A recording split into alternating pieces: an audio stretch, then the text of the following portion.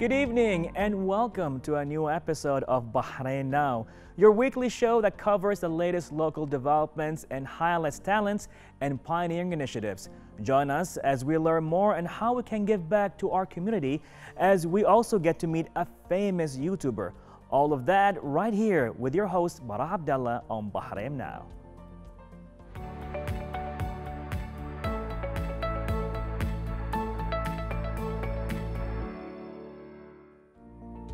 A well-known video creator and YouTuber with over 1 million subscribers.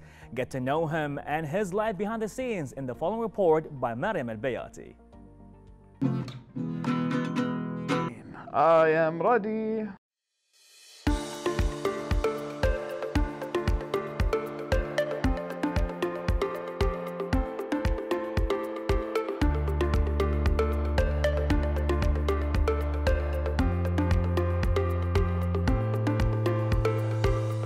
YouTuber or a content creator is a videographer or an entertainer who is capable of producing videos for the video sharing website YouTube. These content creators are also considered influencers. Content creation is said to be the material people contribute to the online world. Abdullah Al Naimi, a content creator, has been growing and sustaining a loyal audience with his unique and out of the box content. Reporting for Bahrain International, I'm Mariam Al Bayati. Thank you for watching.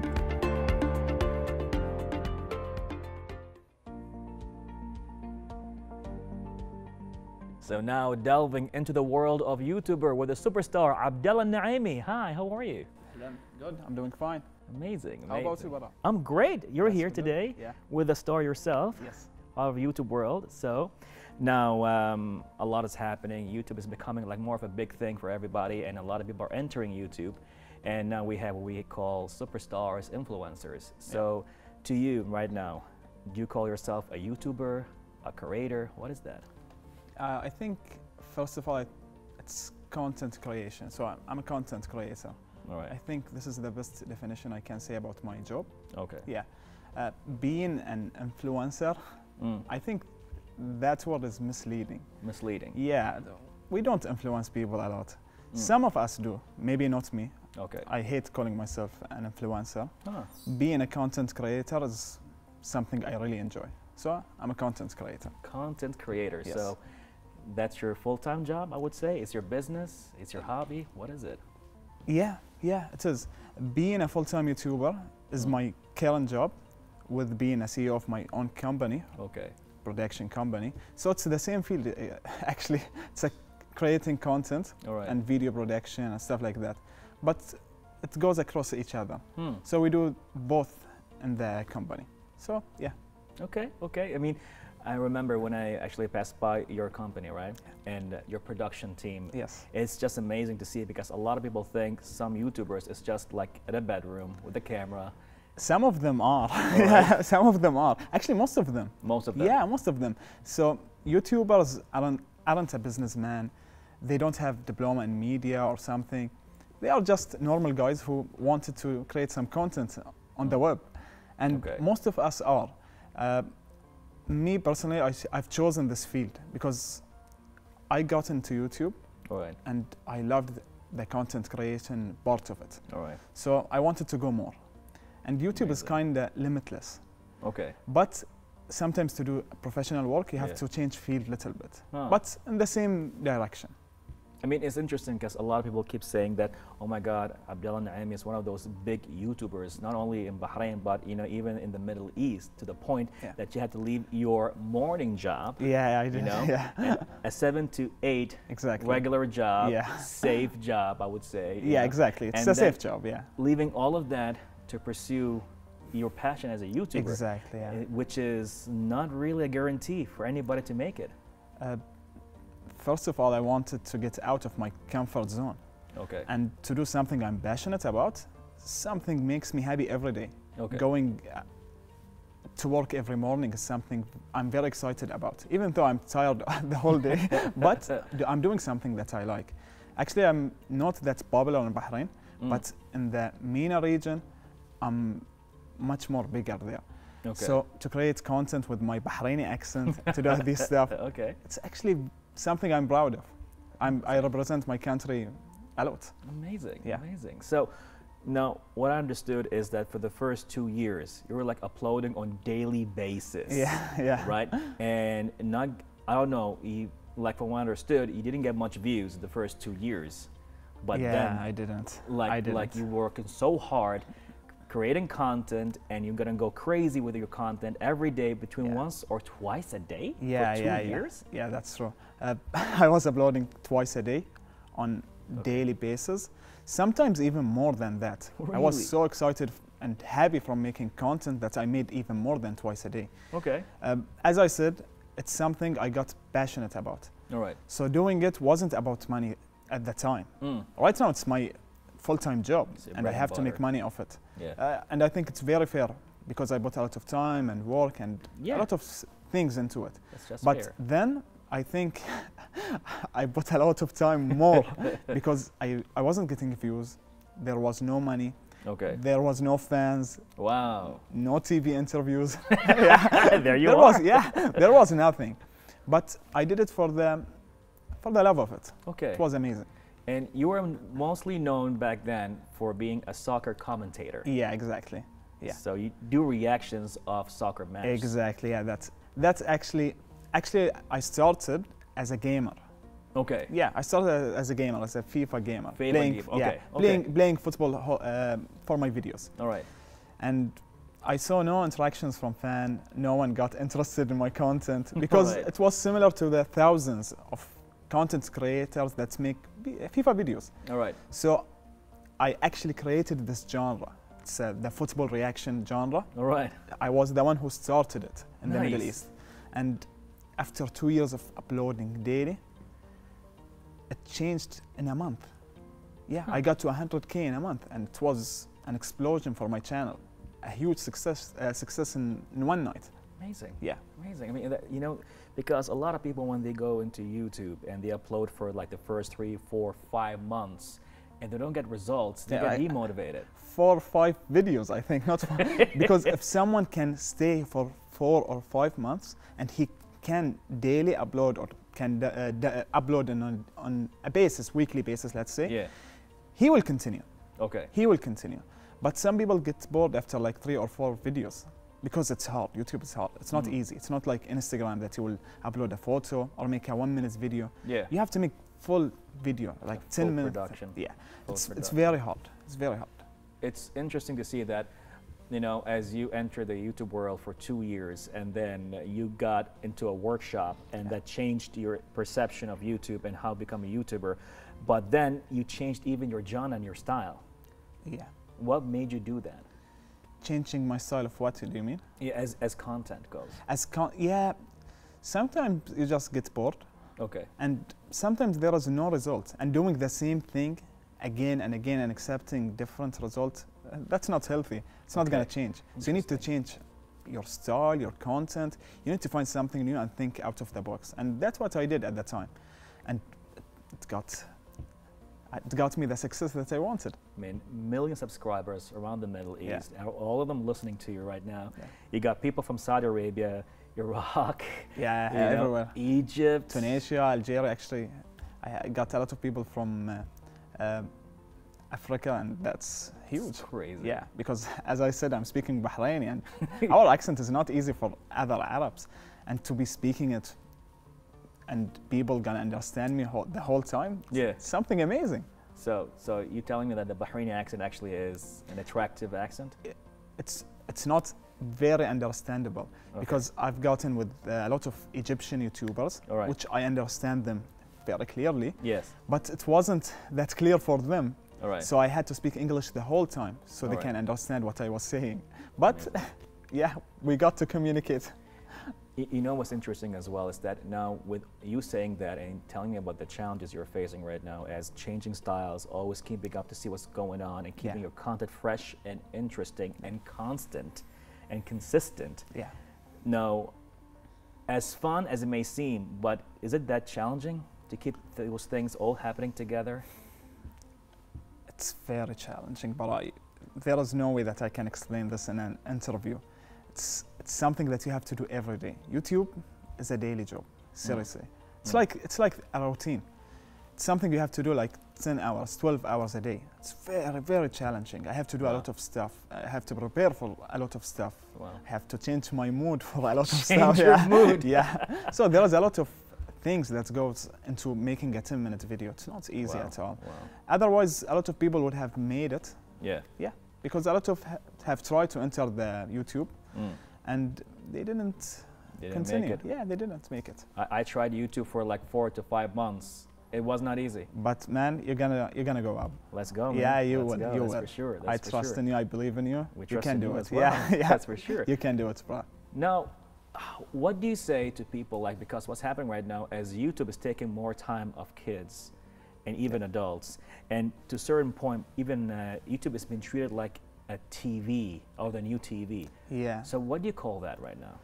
Uh, there is an old-fashioned media, as we all know, and there is the new media New media. that we actually have no idea what is it because social media have been like for what 10 years pretty much. we don't have that big of experience i think tv have been like what 100 years or Maybe 80 more, 90 man, something yeah. like that so we have a lot of guidelines that can make a tv, TV. what tv it is Yeah. right now but social media it's very different you have Yeah. no idea what's the algorithm The algorithm. what yeah a lot of stuff goes into that you don't know what people are gonna like after two months so you have to keep changing every time because the new people are coming to the to the social media every day Right. and they are bringing something new Right. and you have to do that yeah. to keep going in the social media It's interesting. It's so interesting what I'm hearing right now.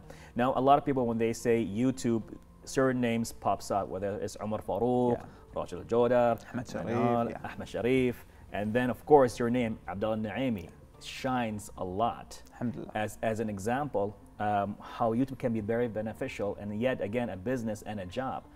Now, what are your tips to the people who are just seeing what you're doing and they say, you know what, I want to do the same and I'm going to be the same and Yeah. even better, all that kind of stuff. But for people to enter YouTube, um, what can you tell them?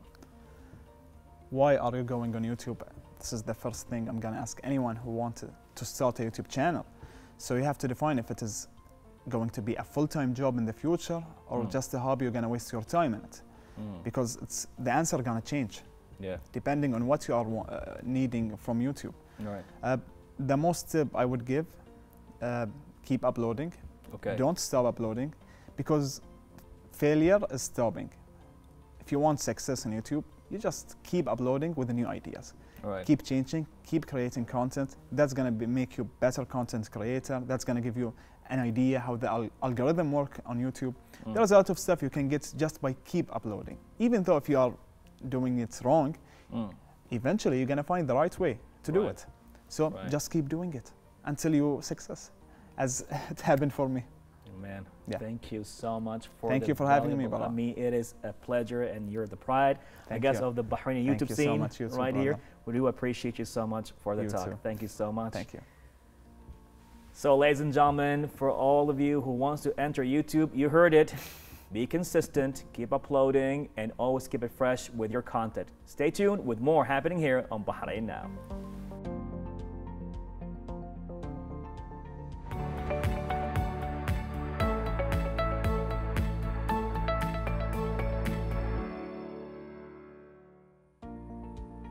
When we give cheerfully and accept gratefully, everyone is blessed.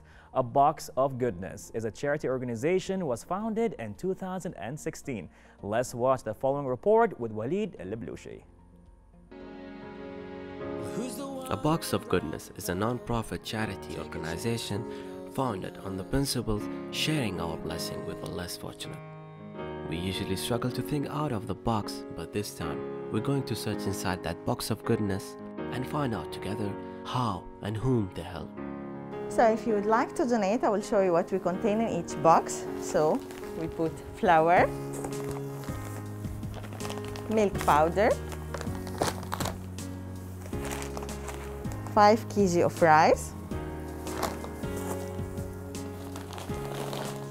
sugar, chickpeas, dal, oil,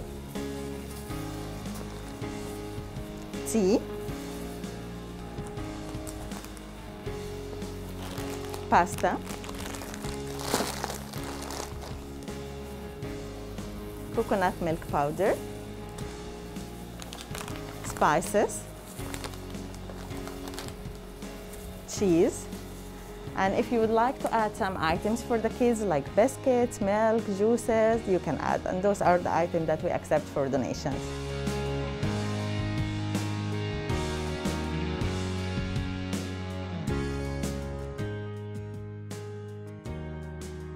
We were uh, trying to raise uh, food, uh, sanitizers since the beginning of the coronavirus pandemic, around six, seven months now.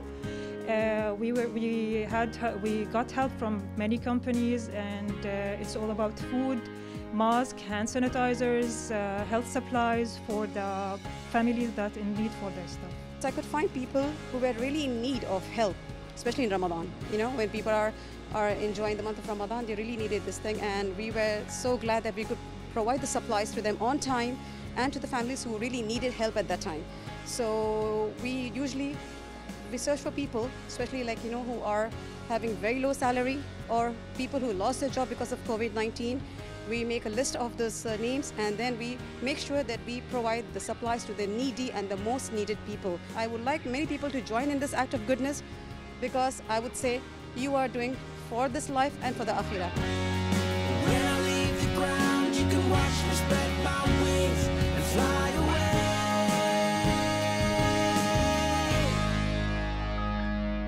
My dreams come true, to let all the light shine through. Ladies and gentlemen, goodness lay within. And as a human, I'm sure you can feel the joy of giving more than who receive. Our greatness, not in what we have, in what we give. I'm Walid Al Blushi, reporting Bahrain International TV.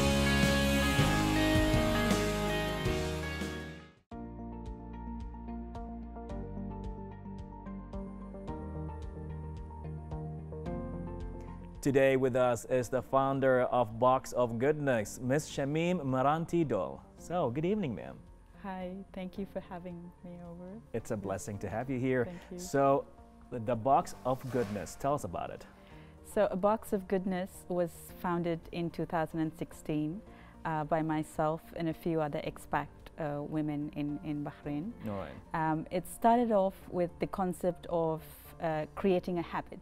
Mm. So, what we used to do was we used to try to get people to create a habit of having a box in their house and on a daily basis to put away something that they wanted to share with someone who was in need. Okay. So um, they say that when you repeat an action, it builds a habit. Right. So we wanted to build a habit of giving. Right. So that was where it all came from. Um, and we, we always ask people to donate in kind to us because we're an unregistered charity. Uh, we always ask people to either donate their time, uh, their efforts, uh, or food, clothing. Um, we have a lot of people when they're leaving Bahrain, Yeah. um, they give us um, like um, kitchen items, Alright. furniture, um, all clothing, toys, all of these things which are in good condition, which can be shared with someone uh, less less fortunate family. Right. We always take it take it in. Yes. Great. Yeah. Great. So, what inspired you to actually think of the Box of Goodness?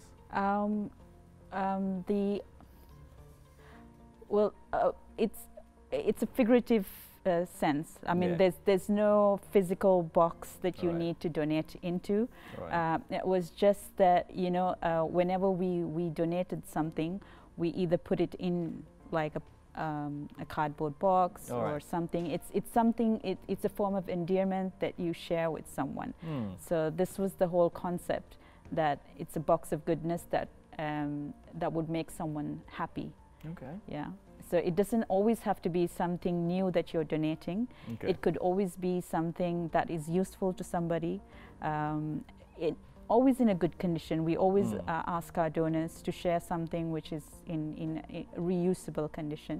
okay. Um, and and the thing is that even though it's uh, it's it's a second-hand item, it always makes somebody very happy. yeah. Yes. can yeah. only imagine. So, how does it feel when you do these charitable uh, activities? When you say it makes somebody else happy, But Yeah. what about you? How do you feel about it? Well, I always believe that, um, you know, making someone else happy, Yeah. this kind of happiness and this kind of reward, money can't buy. Yes. Uh, and it, it, you really feel good uh, when, when you've, because when they bless you, when they thank you, and when you see them smile, um, this is is priceless. Uh, is actually, priceless. Uh, yeah. And we always we always get a lot of our volunteers also to Mm. come in and experience this, so that then they also want to do it more. Like you know, when you Mm. uh, when you partake in something, you see things firsthand, and then you you see what it's like, and you want to continue doing more and more uh, good. Yeah. Amazing, amazing. So, I mean, with all the positivity and the blessings and the happiness that takes Mhm. place with this work, I'm sure you get challenged sometimes. Um, yes, uh, we, we do have challenges where sometimes, like I keep stressing uh, on gives give as good as you want to receive, Yeah. but um, that's not always the case. Sometimes we have to, uh, you know, go through the things that we receive as Mm. donations because they're not always in the best of condition to uh, share with someone else. Mm. Um, we also have to remember that someone who is a little less fortunate than Yeah. us um, will always feel a pinch. You know, if you if you give them something that's really bad or something Oh, wow. dirty, Yeah. uh, they al- they will feel hurt. Um, yeah. So we we always keep this in mind. We always want to give and share something that is in good condition, uh, even if it's not brand new. We try br- some brand new items, but if not, we always try to maintain that it's in a in a good condition. Um, so the, this is this is one thing that we um, that we find as as an obstacle. Uh, the other things are that um, because we are not a registered charity, we Mm. don't have financial funding. Okay. Uh, and most of our volunteers are also limited with time because they have families, Right. they have children. So um, we we 100% depend on our donors, what they donate to us, right. and we always work with this.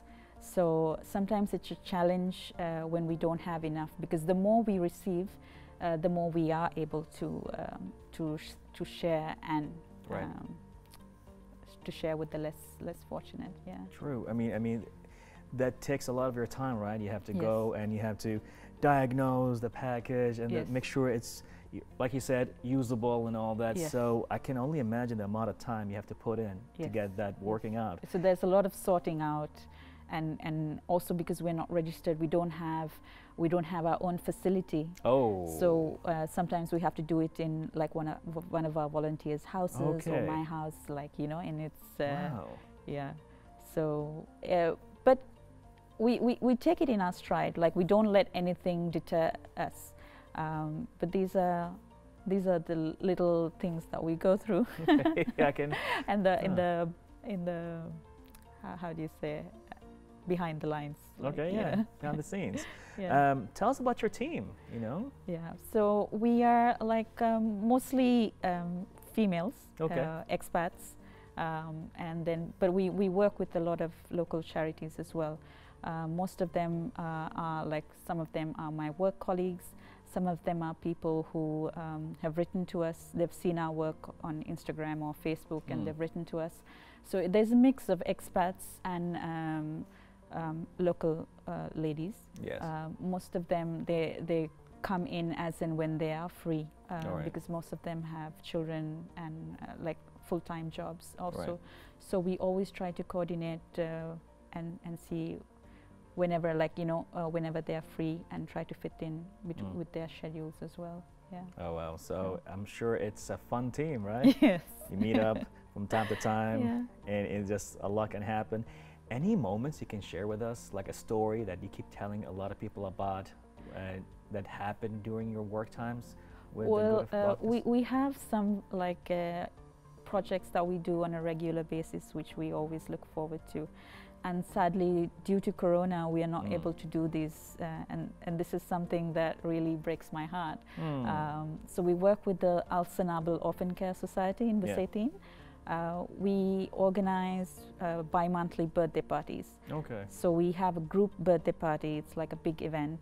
Um, we have like games, we have gifts, and uh, we invite all the children. We have a birthday cake, which which they all cut, and they have like a like two hours of a lot of games and fun.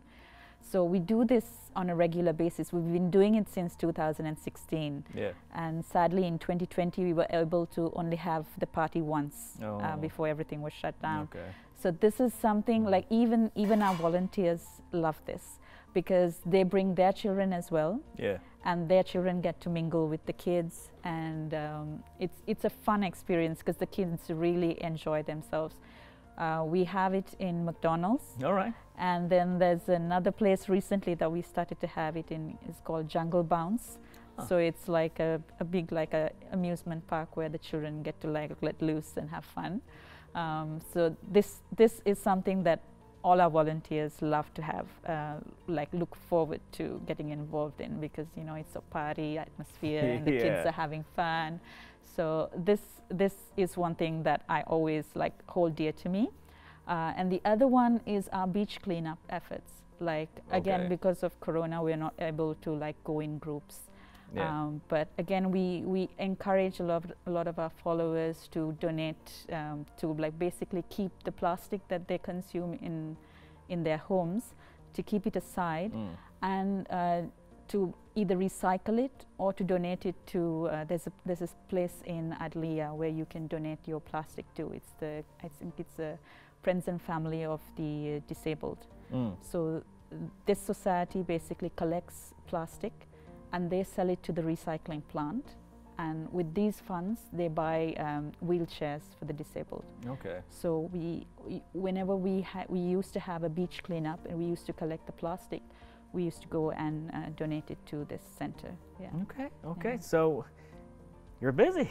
I am busy. And, and I also have a full-time job. A full-time job. Well, you know what? Bless you. Thank you. Bless Thank your you. beautiful team. Thank you. And I think I'll be passing by, even me and some of the members of Bahrain TV, we might actually just pass by and just feed off your positive and beautiful energy that you bring you. Thank to you. us right here on the Yeah. island of Bahrain. Thank you so much Thank for the beautiful effort. We do appreciate you. Now, before we end this conversation, Mm. how can we reach you if ever anybody wants to like to volunteer with activities or um, products or anything that they can be used Yeah. by the less fortunate? Uh, we are on Instagram and Facebook um, at at a box of goodness. Mm. Um, so you can you can message us and reach out to us. Uh, I'm not going to give out my phone number because it kind of tends to get abused Yeah. uh, Mm. in the in the way. Uh, but the best way to reach us is to message us on our Facebook or our Instagram. Okay. Yeah. As COVID 19 hit uh, Bahrain, uh, since March, we've been doing a lot of uh, relief efforts. Yes. We've been working with the public, again, with the help of public and many companies, embassies. Uh, we have been receiving food, we've been receiving um, masks, Mm. uh, toiletries, um, feminine hygiene products. Uh, all these kind of things that are useful for the less fortunate people who are losing their jobs. Mm. Uh, we've hard. yeah we've we've been able to help more than about 1,500 people, Beautiful. uh, and uh, so I'd like to say that people who like please donate more so Yes. that we can help more people because people are still suffering like Mm. people are still continuing to not be able to go back to work or they're losing their job Yeah. so this in, in 2020 this has been our focal point we've Mm. been helping a lot of uh, less fortunate families and individuals who've who've basically not getting paid or they're getting a pay cut or they've Yeah. lost their jobs Yeah. So this is something very important for us It is, it is, and it does matter a lot, actually, especially in these uh, challenging times Yes. with COVID. So um, again, bless you. Thank, you. you. so much, you and your team, for Thank keeping it up and helping more than 1,000 individuals Yes. here on the Kingdom of Bahrain. Thank you so much Thank for being with us here on. Bahrain now. thank you so much for the Appreciate you. So, ladies and gentlemen, let's give back to the community as we are here with the Box of Goodness happening here on Bahrain Now. Do not forget to join them or reach them out on Instagram. Happening here. Thank you very much.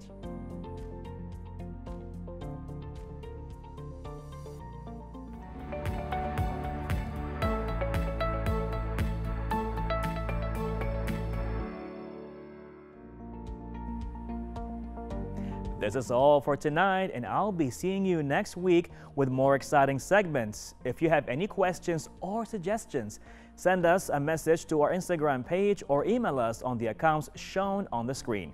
Thank you for watching and good night.